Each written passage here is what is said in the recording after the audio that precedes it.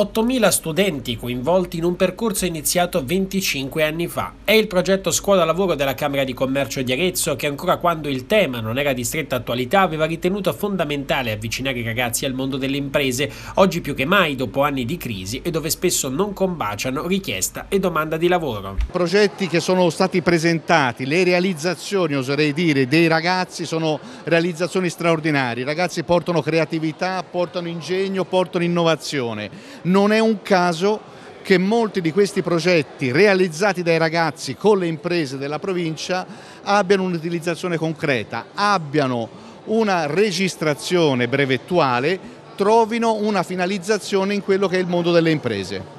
Ad aggiudicarsi questa edizione il liceo artistico coreutico Piero della Francesca di Arezzo ed Anghiari con il progetto Short Course Fashion Styling 2017. L'azienda committente era la Lebole di Arezzo. I ragazzi hanno pensato e progettato uno degli abiti da sposo a marchio Lebole in vendita in questo momento che risulta anche essere uno dei più venduti. Qual è il vostro progetto? Cosa avete realizzato?